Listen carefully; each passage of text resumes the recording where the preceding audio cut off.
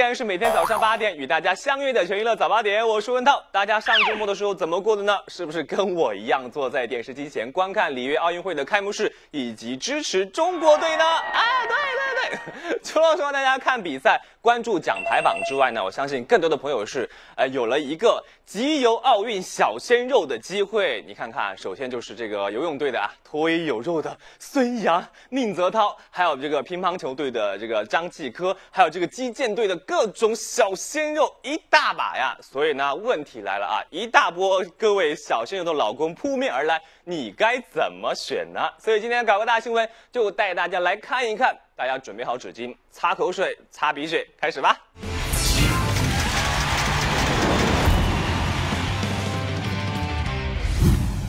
观赛不孤单，满屏都是重磅弹。自打里约奥运会开幕以来，娱乐圈明星三千，网友却独宠奥运健儿一行人。不管国内国外，只要颜值高、肉够嫩，那都整齐划一做到了世界大同，雨露均沾。虽说昨天的男子四百米自由泳池，因为霍顿对孙杨的敌意和讽刺而掀起了不小的波澜。不过，对于霍顿这种赢了金牌却输了风度的所谓冠军，屋里围观群众已经派出了表情包大军征战 ins，在霍顿的主页释放了体内的洪荒之力。优今天就将这事儿按下不表，毕竟咱们大白羊对此都是满满的，不想和这个人一般见识。在来到这里参加参加比赛的每个运动员，他都是需要被尊重的，没有必要靠这些小把戏来。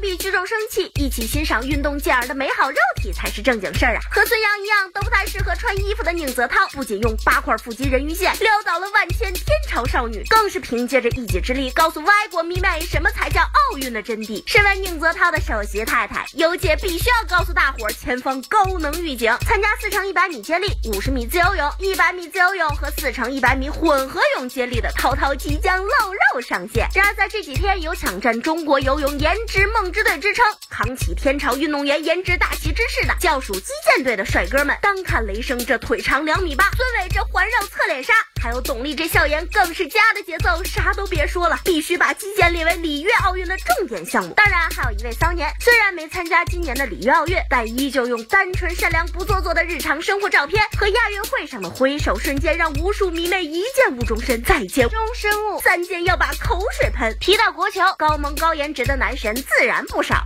用几张高清无码比赛照就成功引起网友兴趣的张继科，就是一本自走的 man 苏教科书，自带迷之面试感的重重幻影，看得网友不禁感叹：居然真的有人实现了版本大神的秘技，反复横跳。当然，张继科也用实际行动和实际战绩告诉我们，乒乓球运动员也有美好的肉体。上届伦敦奥运夺冠后，张继科一言不合就撕衣，一言不合就嘶吼，无论胸肌还是背后的纹身，都印在了迷妹们深深的脑海里。而除了张继科，也不要忘记霸道总裁连乒队队长马龙，还有激情打球界的 A 咖，活体表情包界的大拿，被誉为国乒第一美手的许昕，正是这三个人组成了这一届征战里约的国乒三剑客，用魅力和实力征服对手，没有任何疑问。说完国内男队员颜值担当，放眼望去的外国朋友也都是貌美选手不能忘。除了宁泽涛头号迷弟、学霸高萌的澳大利亚游泳队员麦克沃伊和英国跳水队的正太小戴丽之外，在开幕式上就成功引起全世界注意的这位汤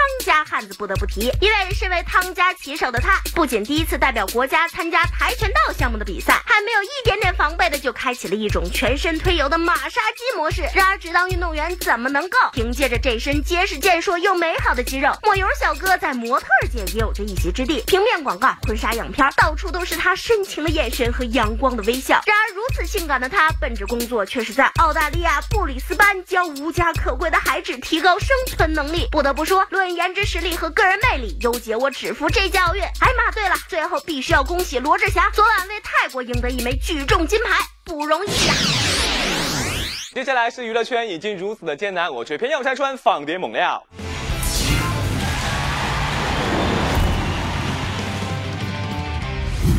树大招风，花艳只能是招虫了。最近在我大优酷联合独播的中国新歌声话题不断，前有高人气美女学员被黑，六号又有博主爆出 hip hop 女王万妮达竟然在盲选阶段唱两次，而且导师们的态度可谓大反转。第一次录影没有导师选万妮达，第二次录影直接死冲。对此有记者致电新歌声宣传总监陆伟，得到回应却是他是抢星学员，意思是导师觉得没冲下来特别遗憾，教其重唱一下就会请其吃回门宴。面对导师们的四连抽，嘻哈美眉万妮达虽然改编的是小公举的歌曲，但最终却选择了对说唱不甚了解的那英，不免让大家感到了一种深深的套路。只是苦了周杰伦了，上天再给我一次机会，你居然也不选我。走了走了走了，真的走了。以后选你哥的啊，你就一律不下来，对，不下来，不下来。幺蛾子不息，性丑闻不止。最近五行缺顺的思密达，六日再被媒体爆出，某知名娱乐公司三十八岁李姓高层逼迫练习生当性奴。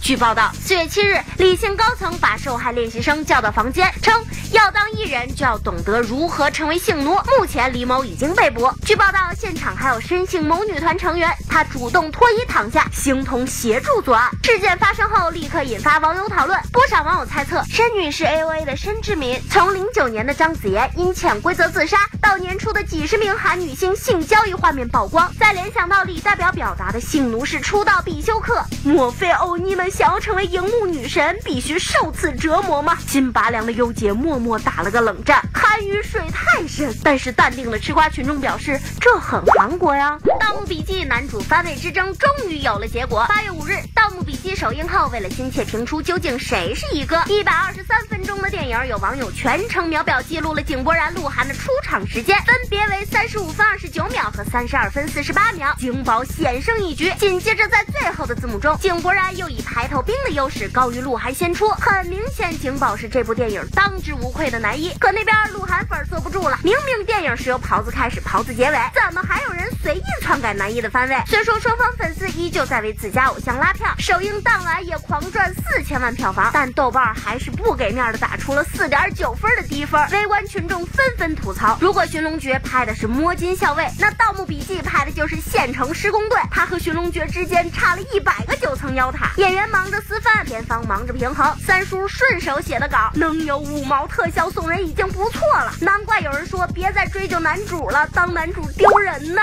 谢谢。火可以燎原，一撩撩到了演唱会。八月六号，TFBOYS 三周年北京演唱会如期举行。作为王源头号迷妹，夏云欣女士携妈妈李小璐亲临现场，瞧瞧人这星追的，充分展现了啥叫赢在起跑线上。就在甜心带着同款迷妹脸紧盯三小只时，奶爸的一条微博却让女儿莫名其妙上了热搜。原来在茫茫人海中，糊涂老爸竟认错了女儿，吃瓜群众一脸蒙圈，亲闺女都能认错，你还要啥自行车？虽说奶爸随后删了微博并更博自嘲，但姐只想说，该配合你演出的我视而不见。奶爸，你已经彻底输掉了在甜心心目中的地位，好吗？人家明明是演唱会现场最白的那一个。复制粘贴已成为明星界新技能，在最近热播的一部韩剧中，惊现一长相神似郑爽的韩国女孩。该女星为 After School 成员娜娜。二零一四年在女神的心中，妹子是酱婶的，还被评为世界第一美，艳压冰冰和亦菲。之后，娜娜还曾与爽妹子合合作拍摄电视剧，岂料两年时间，一个空气刘海就令两人密制撞脸了。思密达一言不合就变脸的衣钵，妹子以身作则的传承了下来。无论是低马尾造型，还是披散着头发，正面侧颜，分分钟都是连连看的节奏，脸盲症都要发作了。女明星撞衣、撞包、撞发型已不是什么新鲜事儿，撞脸更是时有发生。筒子们不练就一双火眼金睛，是没法好好追星了呀。国家面前无爱豆，限韩令一出，重伤韩国娱乐圈。中韩合拍的电视剧《幻觉》吧剪掉戏份的，活动延期的一个接着一个。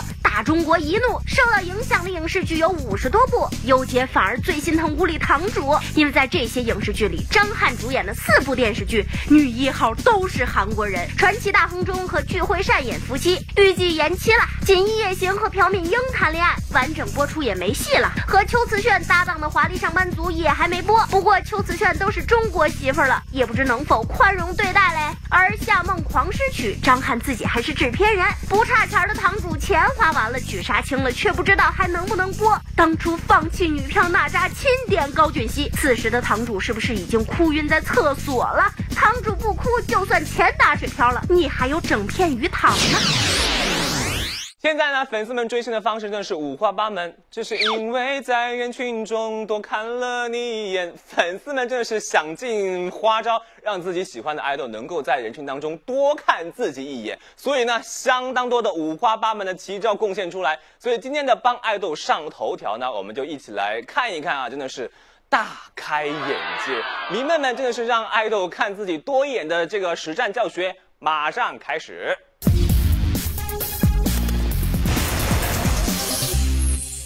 追随爱豆几十年，只为爱豆看一眼，能够 get 一个与爱豆两两相望、四目相对的机会，是每个粉丝的终极梦想。这位迷妹最近就凭借这样一个神器，成功锁定了爱豆的目光，一瞟一惊，成功锁定。而另外一个妹纸也靠这个自带特效，成功获得了小月月的拥爆合影。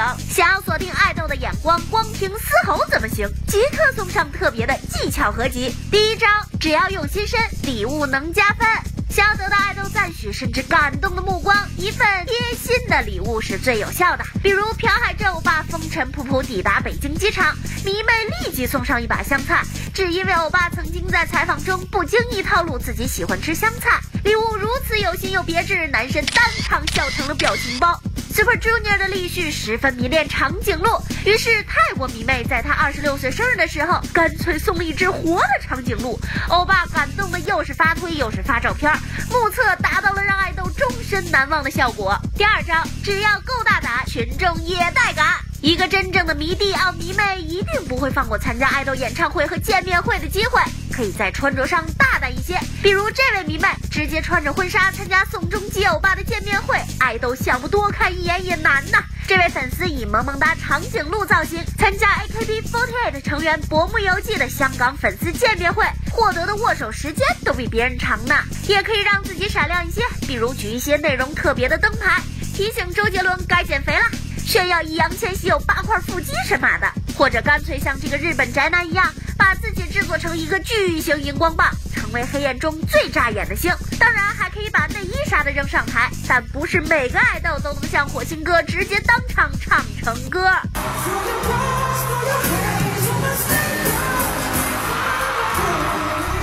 还很有可能让自己的爱豆像惨烈这样吓到不知所措，让人看得好心疼。第三招，只要你会撩，爱豆净折腰。如果你的爱豆有着暖男属性，建议你采取以下策略。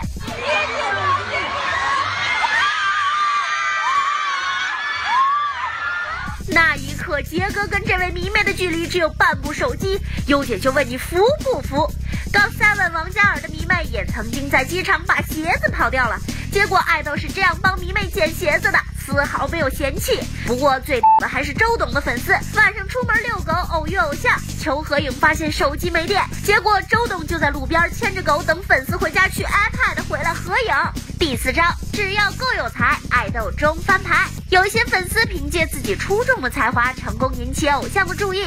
比如这位粉丝以大张伟的胳肢窝为主题创作的卡通形象，获得了大老师的点赞。这位粉丝凭借一双善于发现生活之美的眼睛，敏锐捕捉到了大老师的作品与广场舞结合后产生的返老还童的奇妙化学反应，得到了大老师本人亲自转发和加油诗加持。而这位四川迷妹凭借流利的多国语言技能，成功打动了火花社长，加入社长微博关注列表。当然，也可以通过黑偶像的方法获得偶像的回应。不过，就跟偷亲权志龙欧巴一样，被围攻的风险是巨大的。终极大招，你追我，你追上我，我就跟你嘿嘿嘿。这是无数粉丝的终极梦想，也是杀伤力最强的终极大招。不过小 Gina 的故事基本上不可复制，天气炎热不宜出行，各位不如跟优姐一起脑补一出偶像剧吧。没事别刷屏，有话好好说。现在奥运会呢，激战正酣，我们全娱乐也是进入到了这个奥运模式，所以大家不妨来聊一聊啊，大家最爱看哪一个奥运赛事项目，以及最爱哪一位奥运选手？宁泽涛，不要跟我抢。我相信跟我抢的人是非常之多，没关系啊，大家想爱哪一个，想喜欢哪一个，觉得谁可以夺金牌，赶紧来分享一下。如果说大家写得好的话，觉得激情澎湃的话，就可能会出现在我们的弹幕当中啊，一起来分享一下大家的留言。好，进入到点歌环节，爱你不只是说说而已。从国打扫选我选我，就喜欢这么有气节的中国政府，支持国产文化领域。我等大家什么啊？下一位土豆用户